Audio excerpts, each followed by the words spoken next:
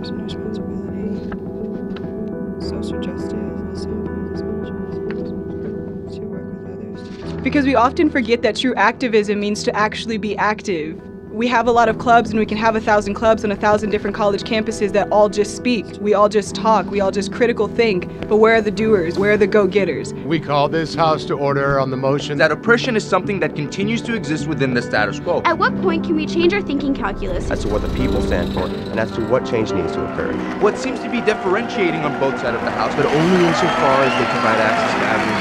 You have to actually take the steps to be different than what we were before. Social justice is something that we should always embody. Social justice Changing cannot social and will not social be justice movement Social has justice to is something that is so we need to broad. speak out against us versus them, or the right to At the end of the day, we must maintain hope.